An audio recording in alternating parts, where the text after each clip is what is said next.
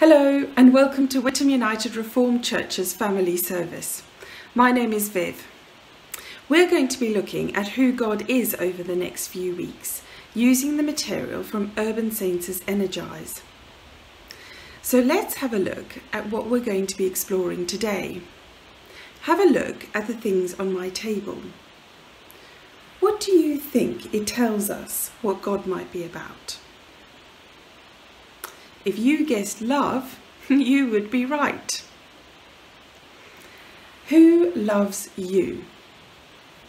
How do you know that they love you? What kinds of things does that person do to show you that they love you? How much does God love you? What kinds of things does He do to show us how much He loves us? So join us in the next section to explore a story in the Bible which tells us about God's love and how much He loves us. Do you know the story of Jonah? It's really quite famous. It involves a whale, a man called Jonah, and a city called Nineveh. Here's a quick recap.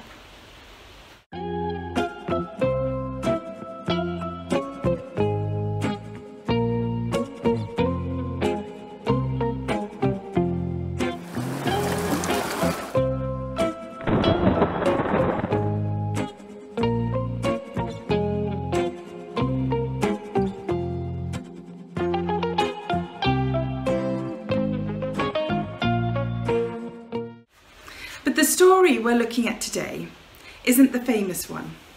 It's about what happened after Jonah arrived in Nineveh.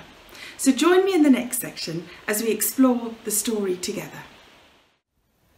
So let's see what's in the box today. Are you ready to count down with me? Five, four, three, two, one. Let's see.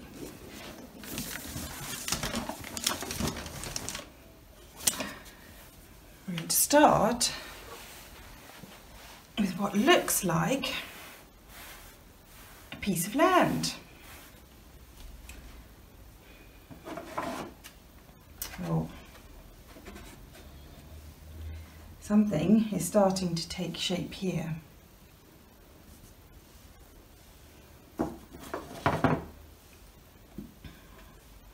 I wonder what this could be. What do you think it might be? A man called Jonah had been asked by God to go to a city called Nineveh and to tell the people there that they had to repent. Repenting is quite a big word, but all it means is to say that you're sorry to God for doing all the things that are wrong. And that you're going to try very, very hard. You're going to try your best not to do them anymore. So Jonah was going to go to Nineveh and he told the people there that they had to repent. They had to say sorry to God for doing the things that didn't please God. The people of Nineveh were quite good at doing wrong things, and they did a lot of things that God didn't like. God had asked Jonah to warn the people that if they didn't say sorry, he would send a fire throughout the city which would destroy Nineveh. When Jonah had performed the task that God had told him to do, he went and sat on the edge of the city and he waited to watch God destroy the city. Jonah did not like the people who lived in Nineveh and he wanted them to suffer. But the people of Nineveh listened to God and they listened to Jonah. and they were busy repenting. They were busy saying so sorry to God for all the things that they had done that did not please God. They wanted to be close to God again. And they were praying for God to save them. Jonah was furious when he realised that the people were repenting. Maybe God wouldn't punish them at all. he grumbled to God, Look, that's why I didn't want to do this job in the first place. I knew that you are loving and you don't like to punish people if you can get them to repent any other way. Now let me die. I'm fed up. It was very hot. And God felt sorry for Jonah sitting in the hot sun. So he created a plant.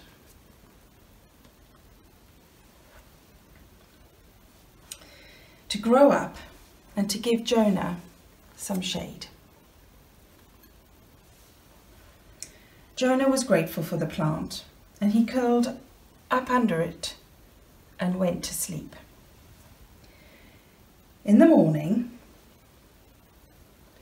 Jonah was very disappointed to see that the city of Nineveh was still all in one piece. But he hoped that God would change his mind about destroying Nineveh, so he waited again. Then God provided a worm.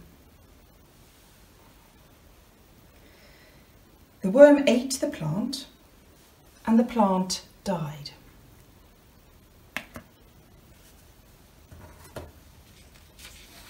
Jonah was very, very angry with the worm and with God. He had loved the plant and was sad to see it die, especially as it now was so very hot because God had made the east wind blow. But God said to Jonah, Why are you so upset? You didn't make the plant. I did. Then I destroyed it. You did nothing to help it just grow. You just enjoyed it and yet you're sorry that it has died. Think, Jonah, you loved the plant. Now think about how I feel about the people of Nineveh. I made them. I love them. I don't want to destroy them. That is why I sent you to ask them to say sorry. I love the people of Nineveh, even though they do so much wrong, more than you love the plant. Now, do you understand why I am glad that I don't have to destroy them? I wonder which part of the story you liked the best. I wonder which part of the story is the most important. I wonder if there is a part of the story we could leave out and still have all the story we need. I wonder which part of the story is most about you. God is all about love. That's his nature. He loves us as his creation and he gives us the ability to love others and to love him. So let's pray together. Father God, we thank you that you are all about love and that you love us. Help us to love others like you do.